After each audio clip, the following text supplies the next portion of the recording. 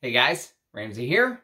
Welcome to another video. Today, I have a very special, long, long overdue uh, video, almost to the point of being a slap in the face to the perfumers that I ignored uh, doing this video because, as you guys know, if you've been following the channel, this channel is all about sharing the love and art and olfactive beauty of perfume with you guys. Uh, and one of the video ideas that I came up with long ago was called a perfumer's portfolio video. And if you go back through my channel, you can see lots of different uh, perfumers portfolio videos.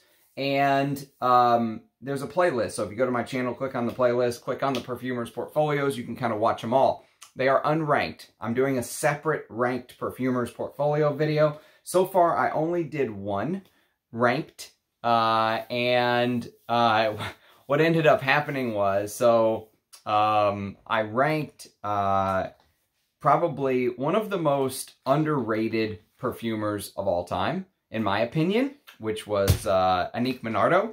And immediately after I ranked it, I'm talking days, I got Figment Man by Amouage, and I'm thinking that's probably her best work. Seriously, her best work. It would be number one if I re-ranked it right now and I didn't have it when I did the ranking. That is one of the downside of doing these rankings is, you know, um, I had to go in and kind of just add it in the description later on. But uh, anyways, that's what this channel is about. There are two, you know, very famous perfumers that actually I've gotten numerous comments over, you know, the almost one year. We're coming up on a one year anniversary of this channel, believe it or not. Uh, next month is actually the one year anniversary, almost a month from today. I think it was uh, December 20th. And um, so, long story short, is these two perfumers are giants in the industry, geniuses. Um, you know, they're looked at as Hall of Fame legends. You know, they're the some of the Babe, they're the Babe Ruths of the uh, fragrance world, of the creation side of the fragrance world. And the two men are going to be Bernard Chant and a gentleman named Raymond Chaillan. Okay, Raymond Chaillan and uh, Bernard Chant. So this is going to be a dual perfumers portfolio video.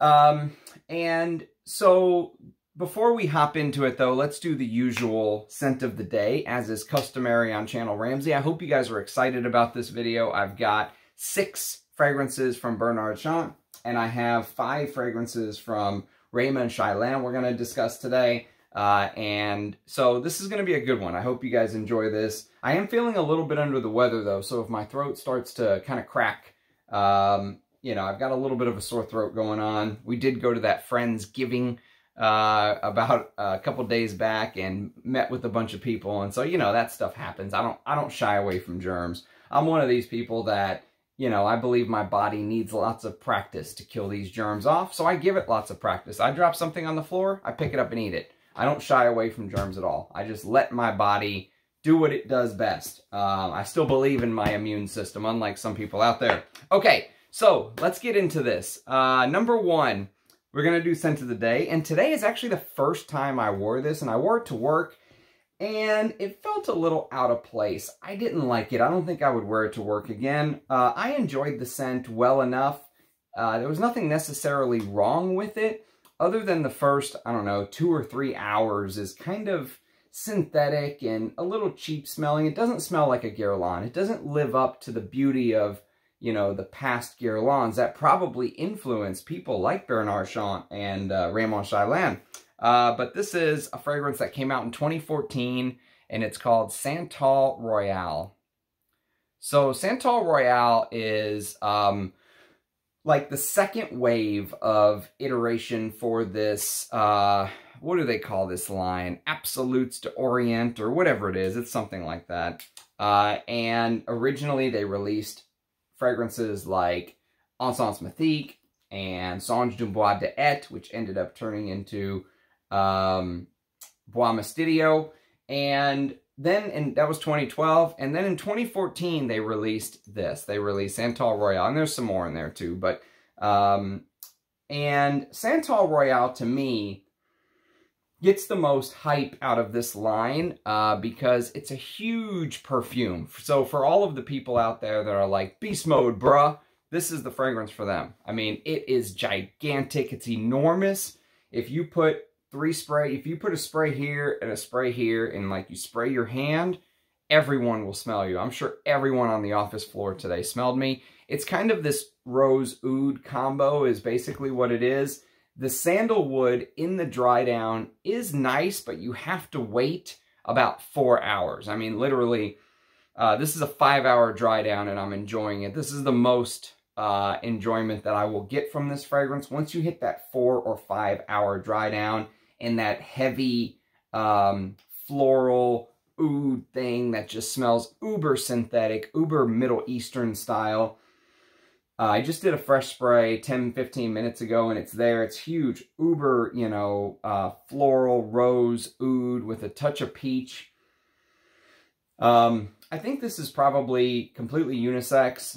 Uh, I think it would smell great on a woman who can wear, who really likes rose. If you're a man and, you know, you just hear the word rose and run the other direction, this might be one for you to try, but if you are at the point in your journey where you like fine French perfumery, like yesterday I wore L'Air Bleu, Eau de Toilette, uh, and I loved L'Air Bleu a million times more than wearing this you know, sometimes I ask myself, like, why? Why do I beat myself up wearing stuff like this? To be fair, I have owned this for like six months, and I own, this is the first time I've given it a full wear. I have worn it to bed a couple times, but, um, you know, full wears are really where you kind of understand the scent to me.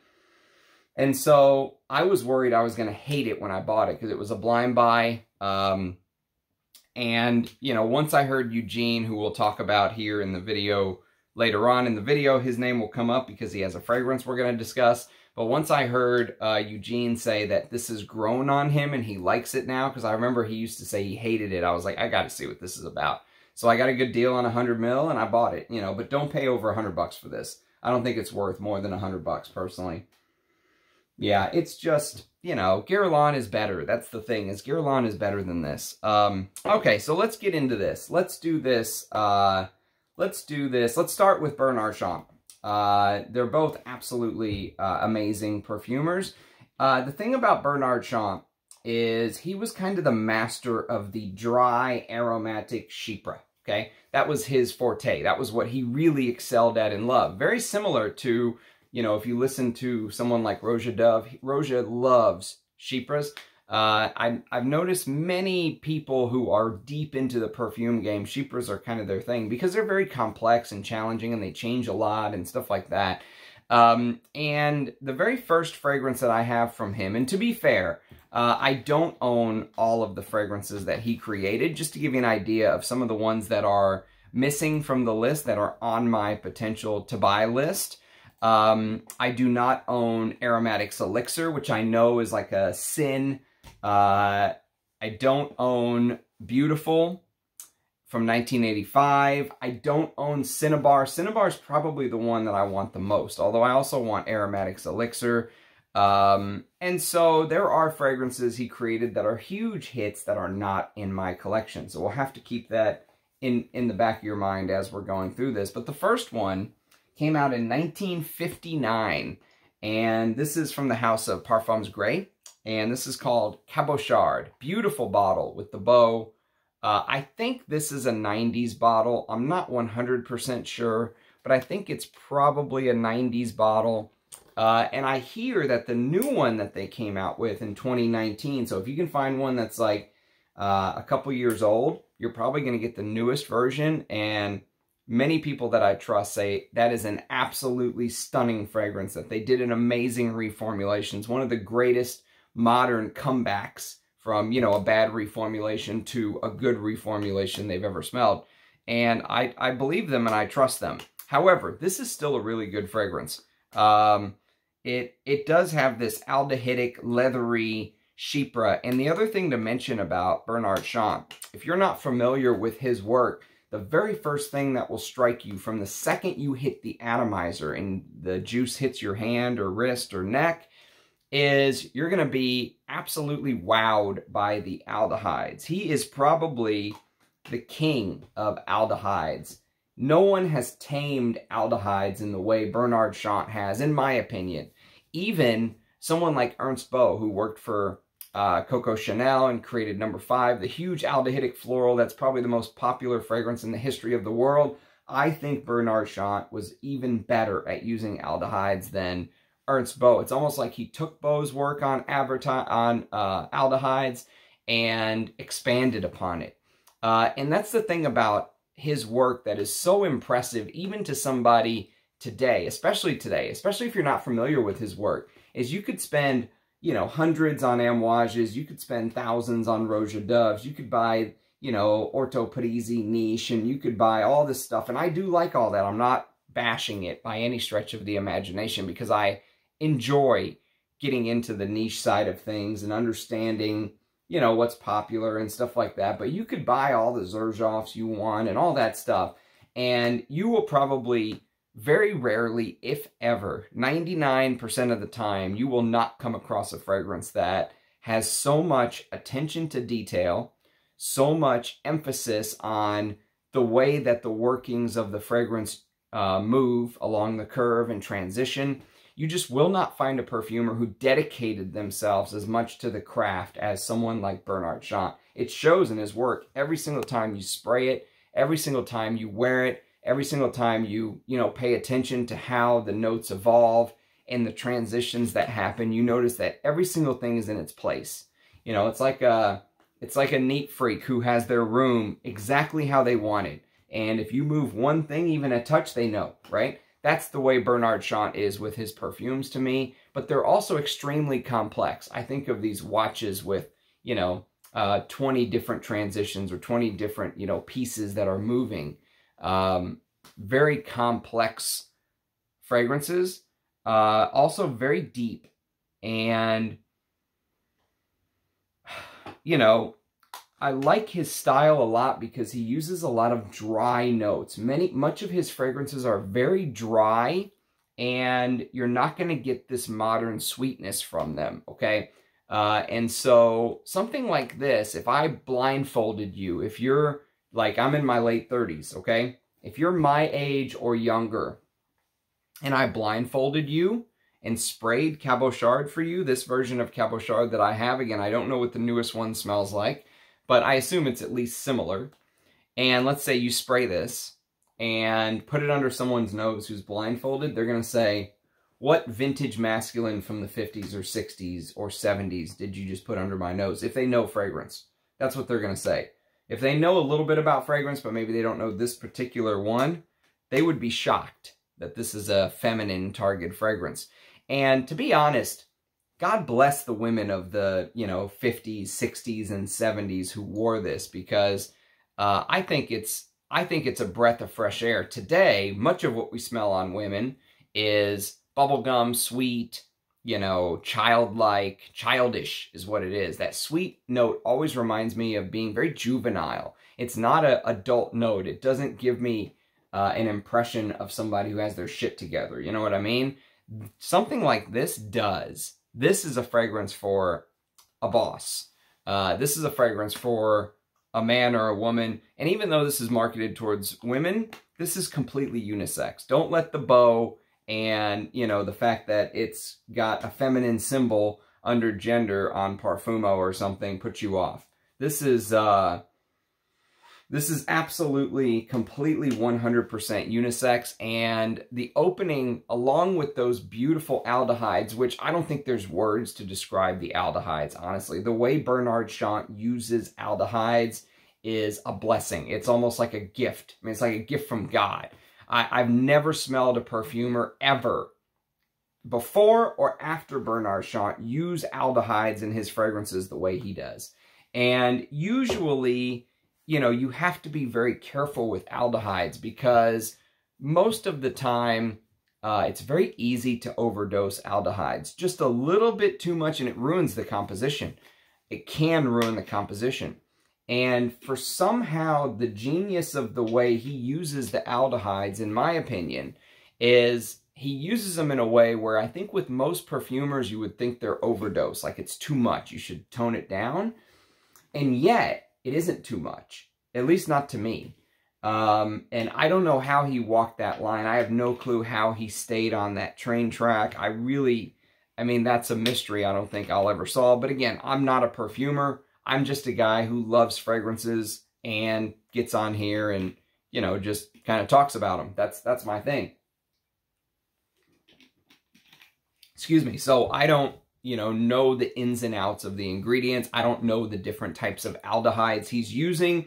I mean, I would love to have somebody teach me or, you know, not teach me to make perfume, but teach me you know, what they know about what aldehydes he used so I could kind of share that information with you guys. But as just a perfume lover, just know that the aldehydes he used, whatever they are, are, are amazing, one of a kind in all of these fragrances. And the other thing you'll notice is this leathery, dry, um, crinkly oak moss in the base of this and the next one that I'm going to show you here. Basically, the notes are um, aldehydes with uh, galbanum, beautiful green galbanum in the opening.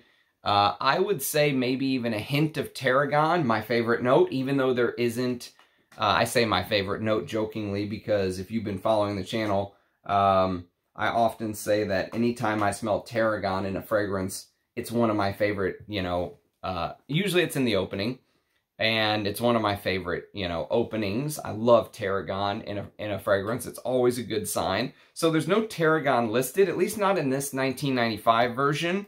Um, excuse me. But, um, or maybe this isn't the 95. I mean, I don't know what version this is, but I think it's probably 80s or 90s or early 2000s is my guess. Um, but you get this beautiful green galbanum with ylang ylang, Bulgarian rose, jasmine from Grasse, um, Moroccan oak moss, uh, vetiver, Tibetan musk, and Indonesian patchouli. And there is this almost like leathery, smoky, you know, almost like a, almost like a um, woman who kind of tried to smoke a cigarette uh, outside and tried not to get any smoke on her clothes because her husband didn't want her smoking and it was 19, you know, 60 and, you know, it was that, it gives me that kind of impression. Um, like, like, uh, there was somebody smoking, but they were trying to hide it. You know, they were trying to cover it up a little bit. Uh, but the leathery dry down, if you're a fan of leather chypres, this is one of the best. And we're going to get to a couple others that I like even more, but have to start with Cabochard. And then what he did, and you'll notice he does this with his work over and over and over again, is he'll take a fragrance DNA and it will take him not months, you know, not one year, not two years, but sometimes four, five, six years after he will release another fragrance. And this time, maybe it's even marketed to a different gender, but it feels like kind of a continuation of a previous scent, okay? And it feels like he's constantly tinkering and trying to get everything exactly perfect. So in 1964, this was released. And when this came out, it took the masculine world by storm. If you put this under somebody's nose today and just blindfold them, they're going to say this smells like what uh, a vintage man smelled like from the 60s, 70s, 80s.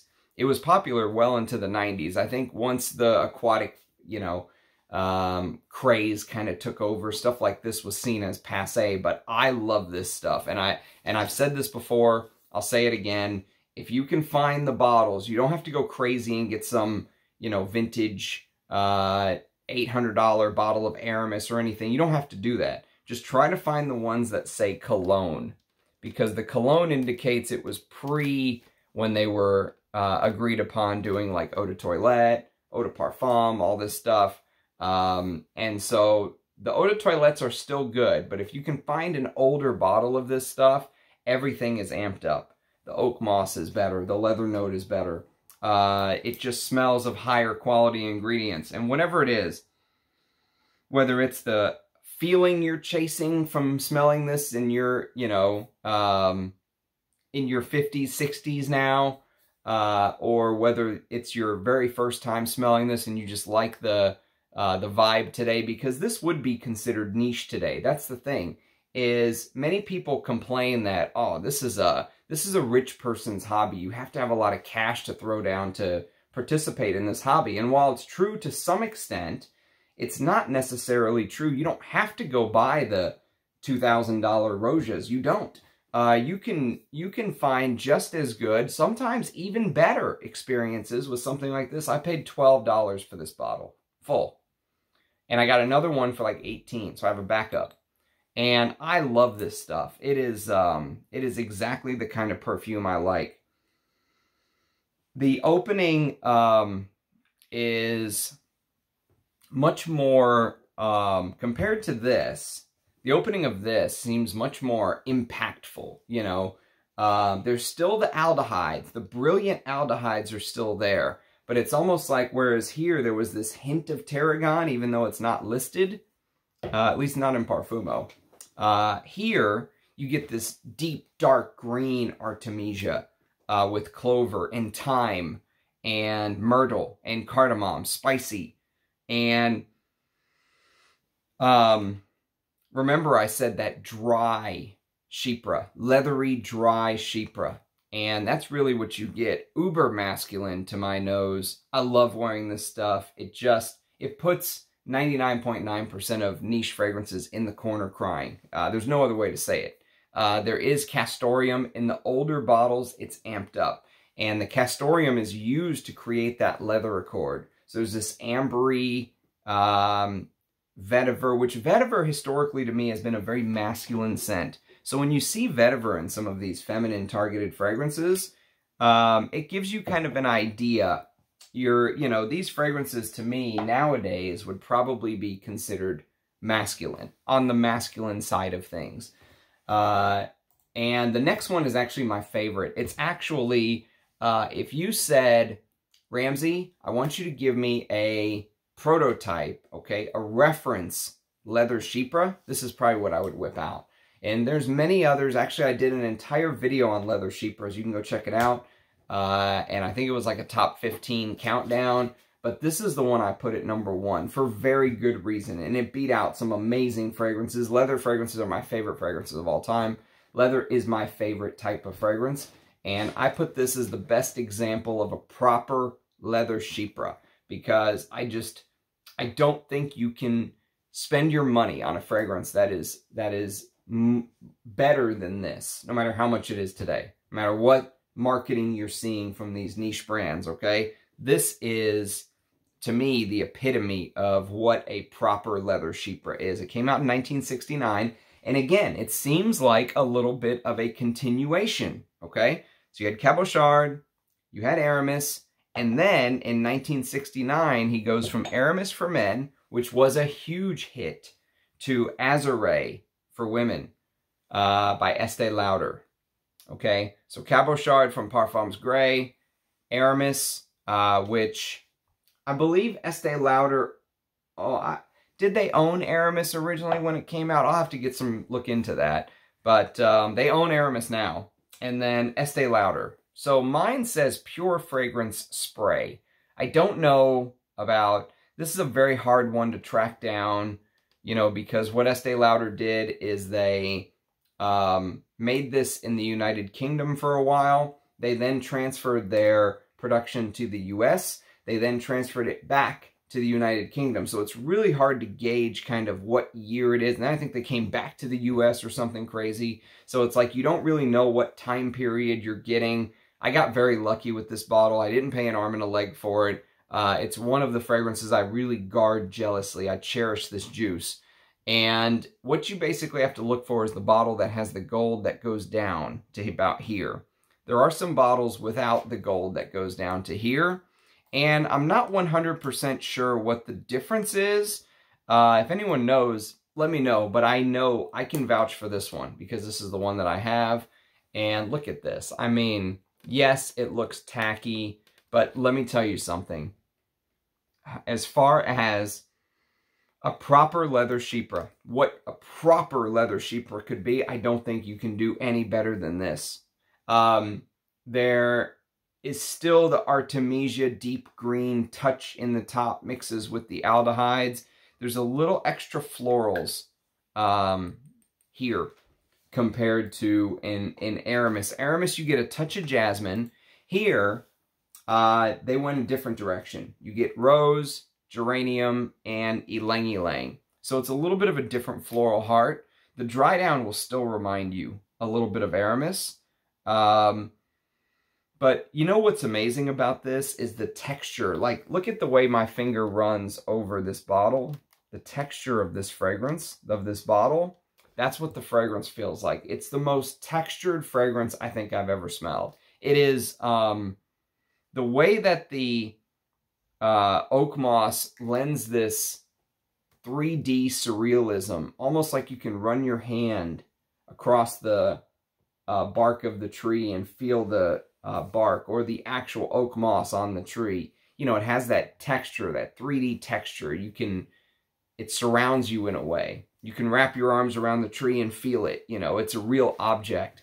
And that's what the juice inside of this wears like. It is a pleasure. Every single time I wear this, I really try to take it in and enjoy it.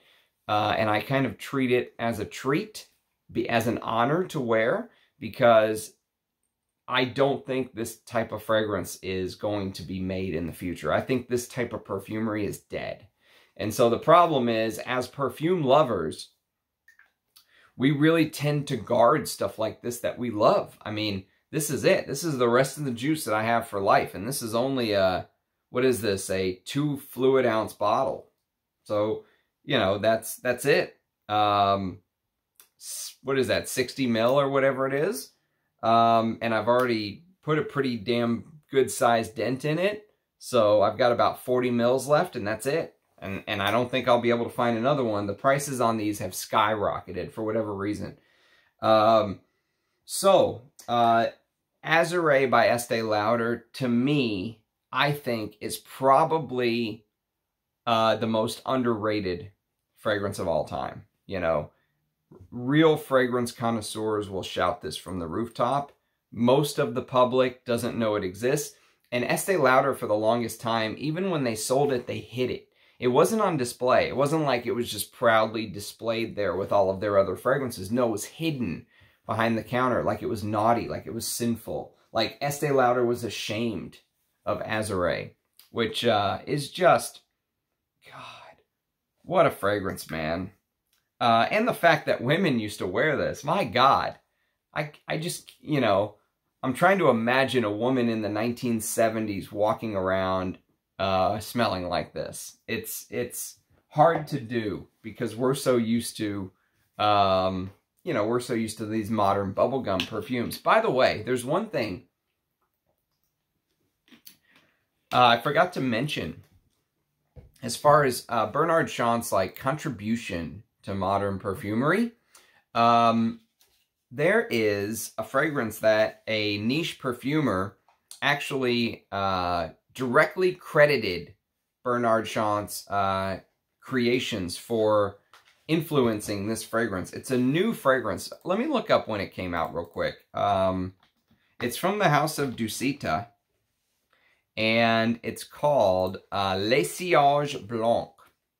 And Les Sillage Blanc came out in 2017. It's a green Chypre, but that Chypre element, um, that oak moss, uh, and the tobacco, and that green galbanum with the oak moss and leather and artemisia is directly influenced by Bertrand Duchaufour's work in Cabochard and Aramis, and she directly said that in her um, interview. Uh, and so you know, that's her little poem that she wrote about it. So even today, now, uh, it may seem like these are fragrances from a long, long, long time ago, and they are, but they are so revolutionary even today that they are influencing the work that's being done. Light fell on us, a discreet light, making its paved way through the chill and dusty air as I was reading your love. It's a poem for Les Sillage Blanc. So I'll do an early impression of uh, Les Sillage Blanc very soon. I've got enough juice, thanks to one of you, to spray it at night or something and talk about it. Um, but yeah, I just thought I'd point that out when I when I saw that. It was it was uh it was very interesting to see that you know Bernard Chant's uh, work all of these years are influencing people like Dusita. Okay, so next on the list is probably I think I think the most underrated rose patchouli. Okay, now I want to talk about this genre, and it came out in 1973, and this is called Aramis 900. Now, I don't have Aromatics Elixir, which came out two years earlier. So, some people would say, well, that was actually the greatest uh, rose, patchouli, chypre, whatever you want to call it. Uh, and this was influenced by that. But remember, Bernard Chant likes to work on his work year years after sometimes and then release another iteration of it, if you will. And I think he did that with Aromatics Elixir. He released Aromatics Elixir for Women in 1971, which was brought by, you know, was um, apparently accepted with much fanfare. Clinique put that out.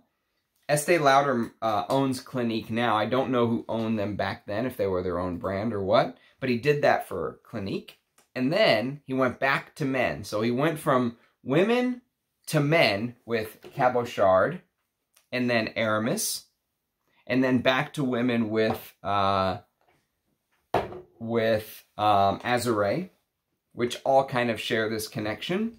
And what he did with Ar Ar Aramis 900 is he went Aromatics Elixir for women, Aramis 900 for men. Now, this fragrance for men, when it came out in 1973, was extremely daring. And this is a vintage bottle. I hear that the new stuff is still quite nice, okay? It's not going to have the civet in this, though. You may think that's fine, all right? I'm just going to tell you right now, because the civet in this can be challenging.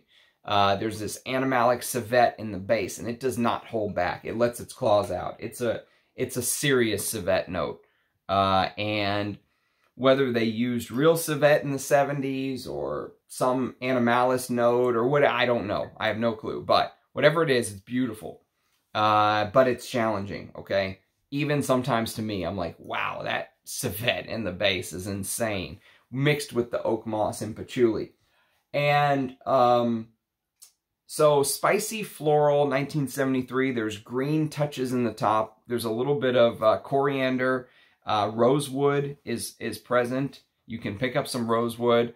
Uh, in the heart, you get spicy carnation with geranium, which geranium will sometimes give off this lemony, spicy, rosy-like smell. So they, he used geranium to mix with the rose with orris root, which he loves using orris root. It gives it a little bit of this powdery poshness. Uh, I love iris and orris and all of, I mean, I, one of my favorite notes. Uh, Lily of the Valley, Jasmine, Oak Moss, Patchouli, Sandalwood, Vetiver, and Civet. Now, in modern times, Many people, when you think of rose patchouli, what do you think of? When you think of rose patchouli, what do you think of? You probably think of something like Frederic Malle's Portrait of a Lady, right? Portrait of a Lady, which I have a decant of right here, and I will do a full review before this juice is gone. Um, Portrait of a Lady is considered by many to be uh, probably the gold standard for rose patchoulis nowadays. And that's the thing is rose patchoulis are now kind of like a dime a dozen, right? Um, there's a new rose patchouli uh, that I like even more than Portrait of a Lady. And you could call this the best rose patchouli.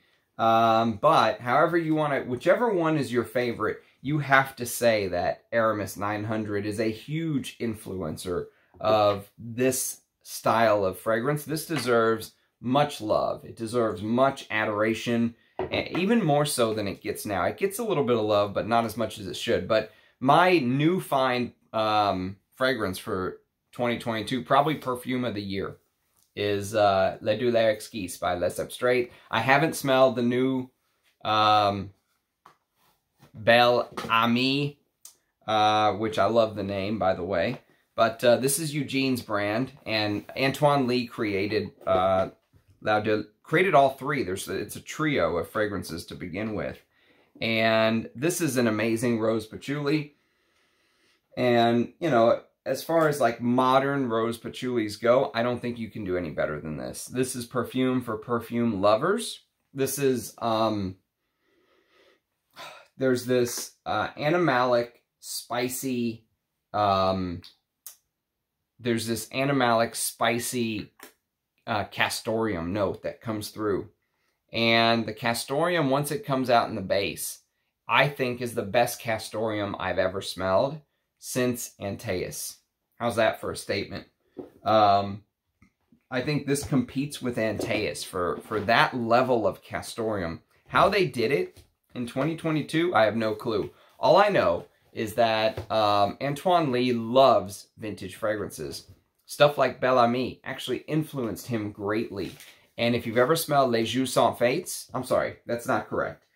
Uh, if you've ever smelled, there is a, a Etat Libre d'Orange fragrance uh, called, um, hang on, let me look it up and I'll tell you just because I'm on this, I'm on this roll and I want to tell you what it is while I'm thinking of it. Uh, what is it called? What is it called? Uno momento. Don't go anywhere. Je suis un homme is what it's called. I think it means I am man. Uh, Je suis un homme. In 2006, he put that out. And you might look at the note listing and say, okay, cognac and leather and patchouli, animalic notes and myrtle and all this stuff. It is literally a niche version of uh, Bel Ami. I think Bel Ami heavily inspired Je suis un homme. And, you know, with modern cognac notes and some animalics and stuff like that. Uh, but, and I think that rose, the, the rose patchouli here was inspired in the top by something like Aramis 900, and in the base, something like Antaeus. Um, so whatever your favorite rose patchouli is, Aramis 900 deserves to be, um, it deserves to be credited for much of what followed. This was all the way back in 1973. And think about the chance you know, the, the, the risk that he was taking putting out something that kind of smells like Aromatics Elixir a little bit, uh, but it's for men. And I love this stuff. I'm so happy to have this bottle. Um, you know, the older ones look like this. There's even a, a different type of uh, vintage bottle that you'll find. Um, it kind of looks like a blue uh, tin can if you will, with Aramis 900. So there's a couple different types of bottles, but any form, any form you can get, you should get your nose on this, even if it's the new one for 20, 25 bucks. Grab whatever bottle you can get if you've never smelled that. And you're a fan of rose patchoulis. And then in 1977, uh, he put out a fragrance that I think he might have worked on in 72. I'm not sure. I know uh, Francis uh, Camail is, is credited as the perfumer in Parfumo for Alliage, but um, some say Bernard Chant worked on Alliage. I don't know for sure if that's true or not, but I will tell you that it is it is a very similar trend that he did. So Alliage is very similar to Devin. So Devin's the one that came out for men in 1977. Alliage came out in 1972. But look at the trend I was just showing you. Women's fragrance, men's fragrance, men's fragrance, women's fragrance. Similar kind of styles with tweaks.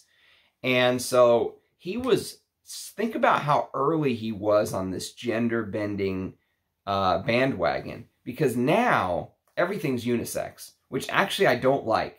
I like that they used to issue stuff for men or for women. Now, I could still wear a woman's fragrance. I don't care. But I liked I liked what Amouage did, how they had, you know, the men's version, the women's version. Um, but he was on this. He understood even back then that those boundaries of for man, for woman were kind of coming down. And so he put out Devin in 1977. And this fragrance is, um, I mean, it takes so many like facets of perfumery and kind of combines it together. It's hard to really talk on this because it uses that genius, um, you know, master stroke of aldehydes in the top that I was talking about earlier with Cabochard and Aramis and Azurée. The aldehydes in those fragrances are out of this world. Uh, and he keeps that with Devin. Excuse me. I'm to grab a lozenge so I can continue talking and my voice doesn't crack on you guys.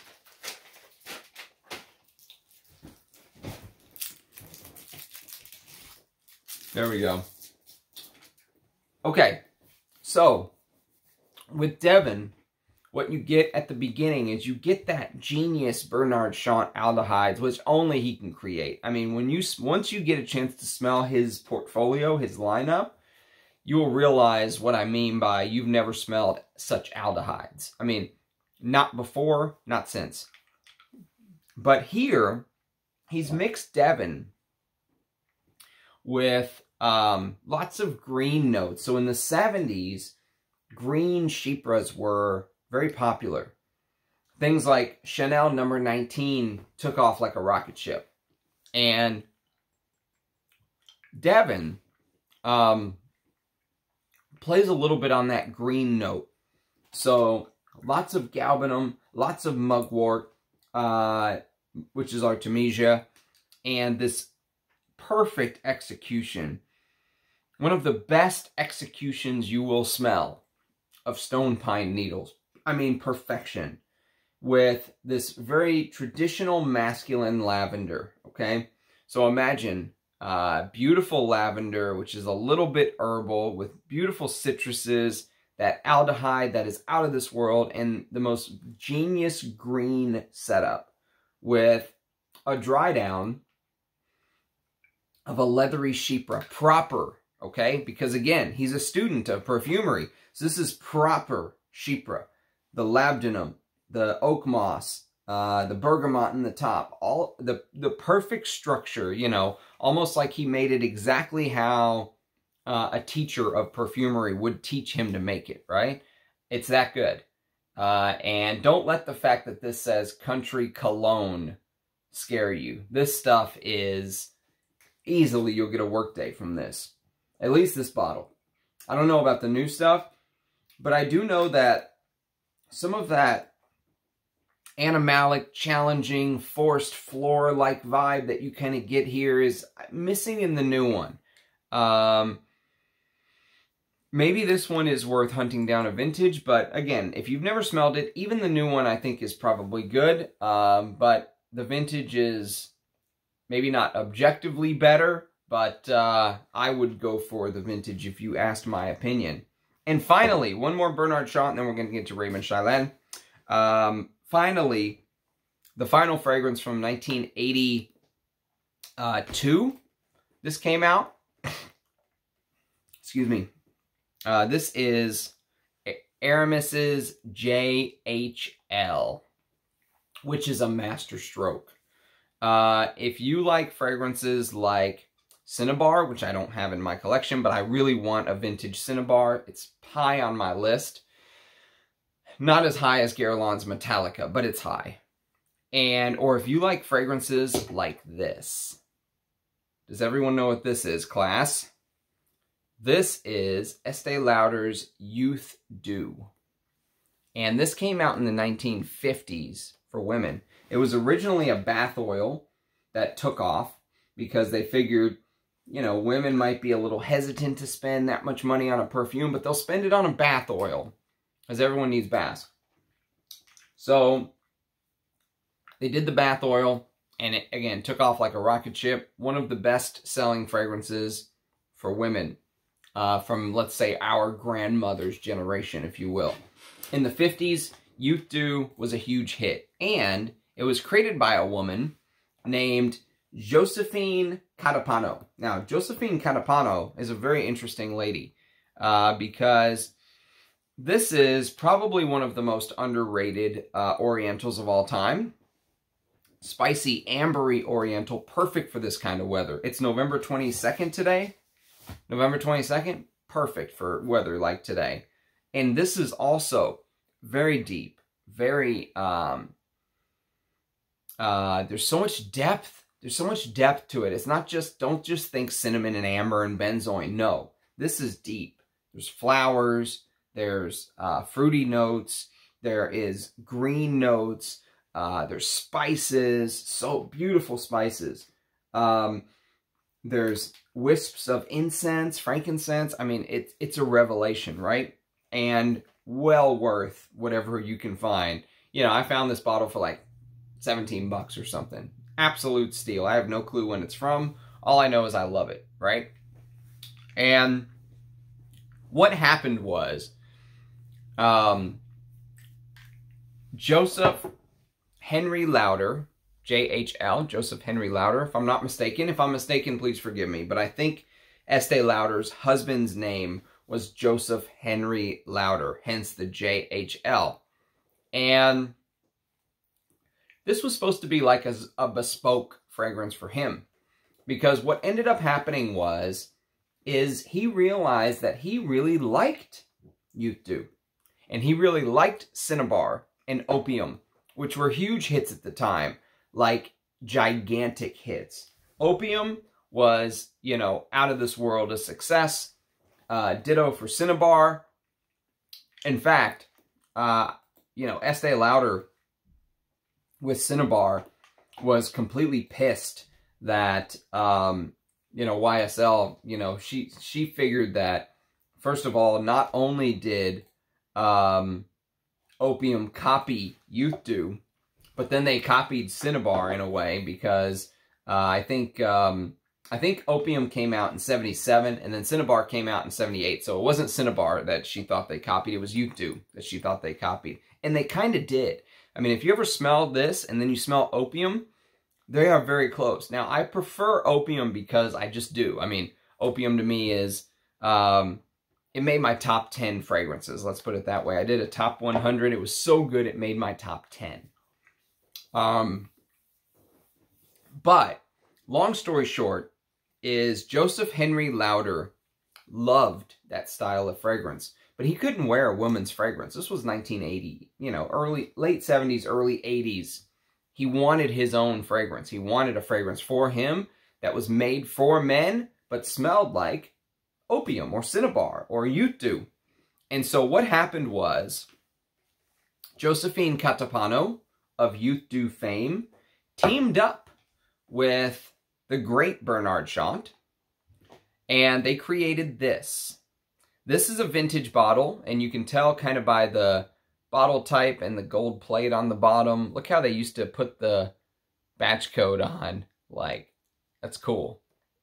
Um, and the other thing is this was a very limited release. They only sold these at certain Aramis counters, certain stores.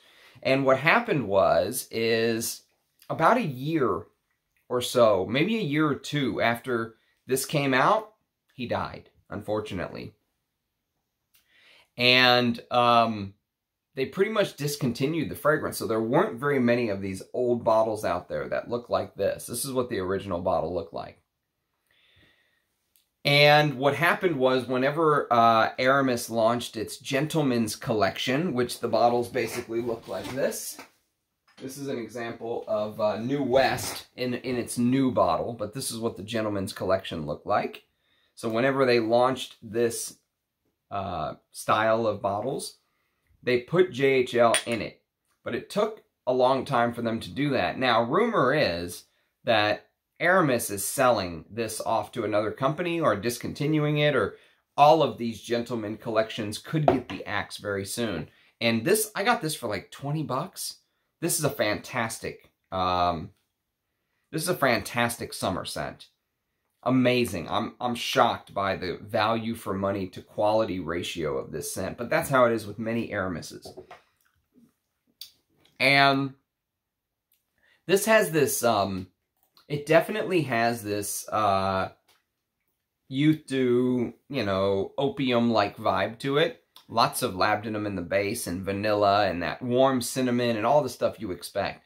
But there's this big orange, almost like you took an orange and just smeared it down the center of the fragrance. And it runs all the way from the top to the base.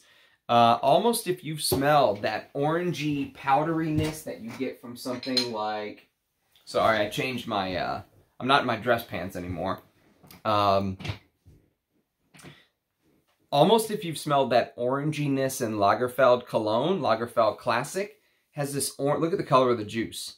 It almost smells like the color of the juice. That orangey, powdery, that's kind of what JHL feels like with the orange. Um, and, you know, JHL is, uh, to me, I think, one of my favorite Orientals. And... Uh, I'm going to rank my or, my Oriental fragrances. I just ranked my Chypres and I split them up. Sorry. Uh, I split them up by leather chypras and just, you know, floral, green um, chypras. Uh, and so I, that's that's kind of how I decided to split them up, and I and I ranked them, and that was a bitch, let me tell you. So I think I'm going to do the same thing for Orientals. Uh, and this is going to be very, very close to the top. This is, you know, I love these type of fragrances. I just do. I mean, you take something like Opium, and, you know, you take something like JHL. Um, that's why I want Cinnabar so bad. And I want it even more because it's officially discontinued. Even in the newest version, uh, I think. I think that's what I saw. That, uh, or maybe it's just the version from 1978 and then they re-released it. Let's see, Cinnabar. Yeah, so they did like a 2015 version, but I hear it's shite. Um, so I want the older version. And uh, that, that version is discontinued. So these type of fragrances I, I absolutely love. And again, don't shy away from smelling masterpieces like Opium because it's for women.